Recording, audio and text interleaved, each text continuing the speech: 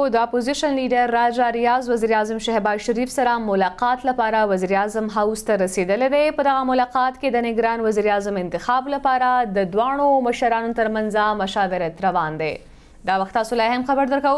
د اپوزیشن لیډر راجا ریاض وزیراعظم شهباز شریف سره ملاقات لپاره وزیراعظم هاوس ته رسیدلی دی په دا ملاقات کې د نگران وزیراعظم انتخاب لپاره دواړو مشرانو ترمنځ مشاورت روان دی